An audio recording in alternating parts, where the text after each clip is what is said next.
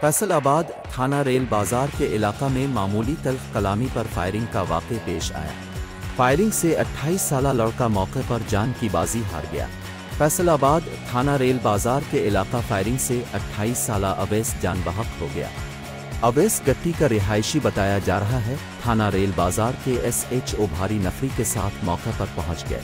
Police ने लाश को पोस्टमार्टम के लिए अलाइड अस्पताल मुंतकिल कर दिया है। पुलिस के मुताबिक वाक़े की तहकीकात जारी है, जल्द मुलजिमान को गिरफ़्तार कर लिया जाएगा।